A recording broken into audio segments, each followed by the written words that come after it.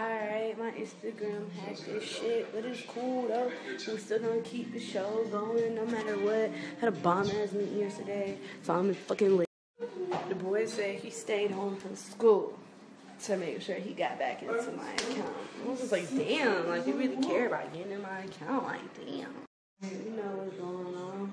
DJ what's going on. DJ what's going on. DJ what's going on. But it's little, so ain't nothing going on.